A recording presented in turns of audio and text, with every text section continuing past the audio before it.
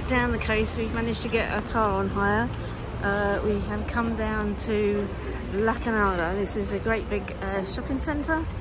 Um, main shopping centre that they have all the named outlets in.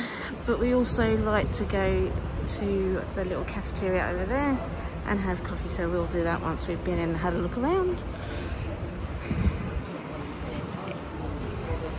This has been here quite a number of years now. Like I said before, it's been a while since we've been down here, so we're going to see what's about.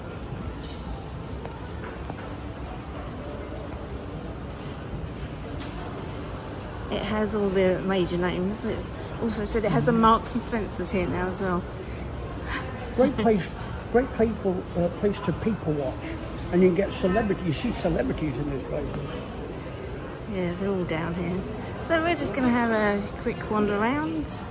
I might take a few shots to put up on there so you can see what kind of shops are here. Speak soon.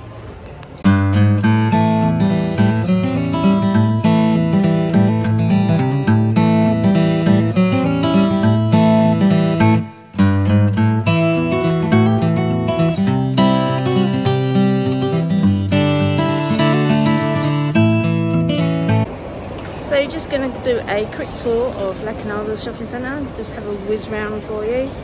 Um, this little bit here, this square here, oh at Christmas it is absolutely amazing what they do here at Christmas. I have got some old photos um, that I'll put up on here as well from Christmas but it looks absolutely amazing when they put all the kids stuff up and all the decorations of Christmas. So I will show you that as well so you get a little feel of what it could be like if you come down at Christmas.